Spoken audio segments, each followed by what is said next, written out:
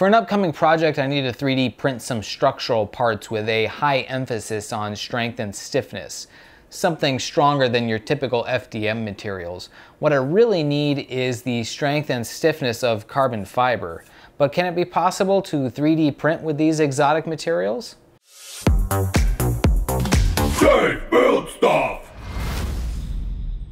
Well, sort of. You can 3D print with materials that are reinforced with little bits of chopped carbon fibers.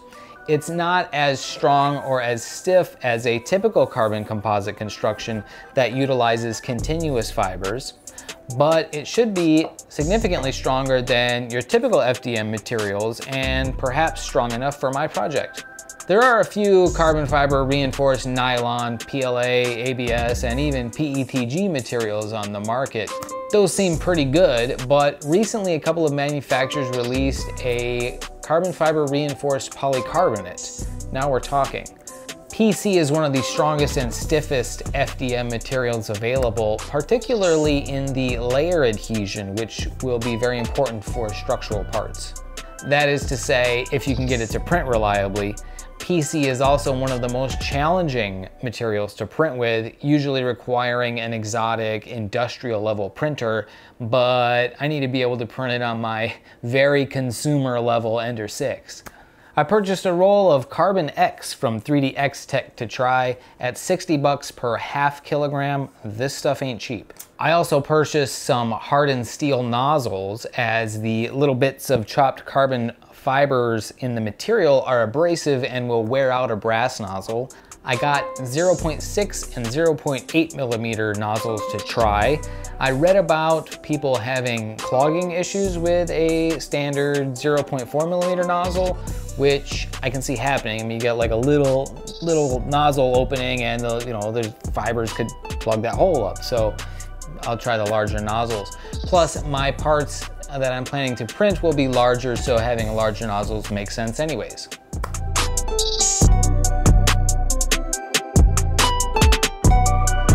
My Ender 6 and BIQU H2 direct drive extruder seem to handle the higher printing temps no problem.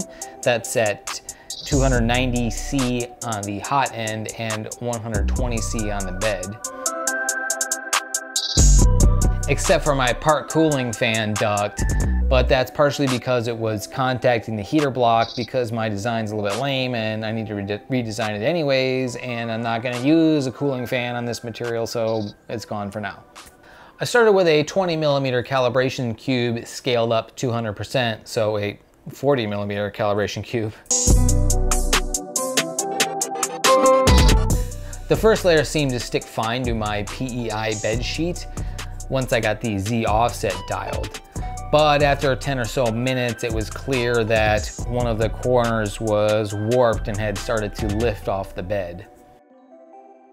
And then about a third of the way through the part, it released and failed. Clearly, bed adhesion with this material to PEI is not good enough, but that's also not really a surprise as the manufacturer recommends an adhesive like Magigoo, so I ordered a tube. Despite the failed part, I was able to learn a few things. For one, my Ender 6 seems to be up to the task of handling printing this material, at least for smaller parts. This stuff does seem hella strong and lightweight, which should be perfect for my next project. It kind of has an interesting tangy sound when you tap on it, kind of like a carbon fiber part. The layer adhesion seems excellent, which is to be expected with polycarbonate. I did a quick separator test where I drove a flathead screwdriver in between the layers trying to get them to crack and separate and they did not. It acted rather isotropic-like. I also tried sanding one of the faces just to see how that would go. First with 240, then 400, then 600 grit. It did indeed come out quite smooth. It didn't quite seem to sand quite as nicely as something like ABS. It acted maybe more a little bit like a PLA, so it's workable. Not, not the best ever, but you can work it.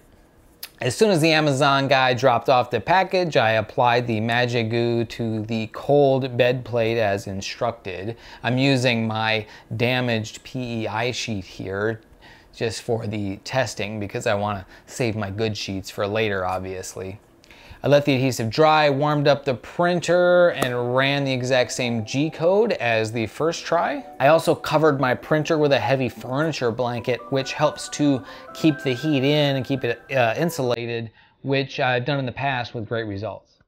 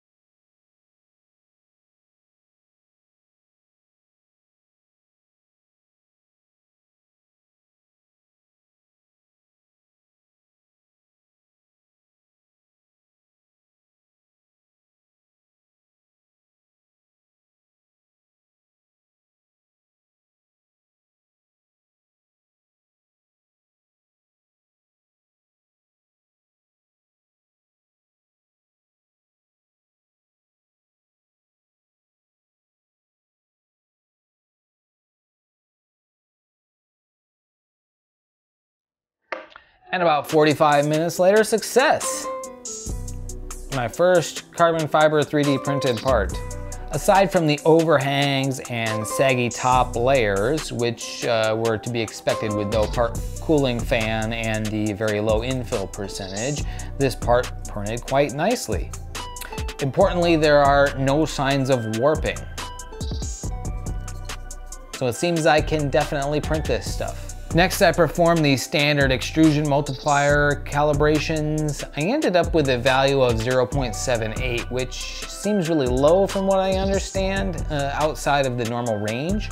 So I'm not quite sure what's going on here.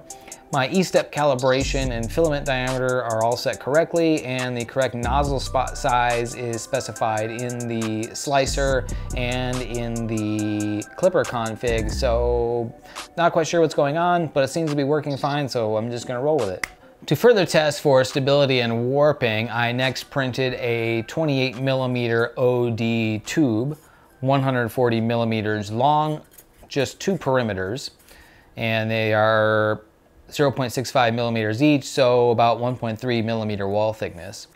I'm happy to say this printed perfectly. There's no signs of warping.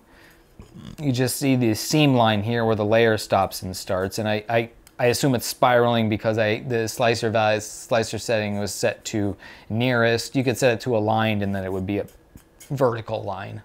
Uh, this is round to within about two thousandths of an inch, which is what I would expect from uh, the accuracy of a printer like this, and it's consistent along the length of the tube. And this is about the size, at least the vertical size of the parts that I'll need for my next project. Uh, by the way, hit subscribe because you're gonna wanna check that out. This project is fun, it's gonna be really cool, you'll like it. With this tube, I can sort of directly compare it with a similarly sized, traditionally manufactured tube. And you'll notice with this material, with the 3DX material, I can cause quite a bit of distortion by squeezing it here, whereas with a traditional table rolled carbon fiber tube, there's no way I can make that. I mean, maybe a little bit. If I measured it with a micrometer, I could probably measure that distortion, but it's really not much. So both of them are about one millimeter wall thickness tubes. So clearly this material is not going to produce parts that are anywhere near as stiff or strong as a traditionally manufactured carbon fiber part. That shouldn't be a surprise because of the different manufacturing techniques. It's just a good reminder that just because a product has carbon fiber in the name doesn't gonna mean it's gonna have the same structural properties as a different manufacturing technique that uses the same materials. Next up was to try something a little more ambitious. This is a full-scale test part with dimensions similar to what I will be needing. It has very thick walls, a lot of material, and a long print time. This uh, is a great stress test for not just the material, but also for my printer, making sure it can handle those higher temperatures for that amount of time. So I wasn't really sure how well it was gonna go, but there it is. It printed just fine in about three and a half hours. The only imperfections are the uh, seams, which are to be expected on uh, a round cylinder part like this. Otherwise, no signs of warping. It's dimensionally accurate. There's some 45 degree overhangs on the inside, which seem to print just fine. This thing is bomber. I mean, it feels really strong. It's basically all perimeters, so it's basically solid.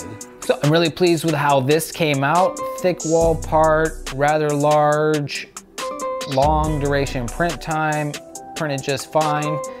Um, this is getting me really excited for being able to use it on my project. The final test I wanted to perform was an overhang test. I did not expect overhangs to print very well considering there's no part cooling fan, but I was actually a bit surprised about the performance. A little bit of distortion started to show up at 45 degrees, and with only really major distortion showing up with the 30 degree overhangs. So this is definitely useful and it tells me for my part design I'll want to try to keep you know outside overhangs to be somewhere to be you know 50 to 45 degrees max and for the you know inside overhangs well I've got a Dremel tool. So there it is 3D printed carbon fiber reinforced polycarbonate. I'm super impressed with this material. It's super strong, has excellent chemical and thermal properties, and once you get your printer dialed, it seems to print quite nicely. I love this textured matte black finish. It definitely looks like carbon fiber, and I can't wait to start printing with this stuff on my next project. So what have your guys' experience been like with printing advanced materials like this? Have you had experience with nozzles clogging or warping or maybe just other things that you wouldn't expect from your experiences printing with regular FDM materials, let me know down in the comments. Be sure to subscribe because I can't wait to start sharing what my next project is gonna be. I'm having a lot of fun with it so far and uh, I think you guys are gonna enjoy it. Thanks for checking it out.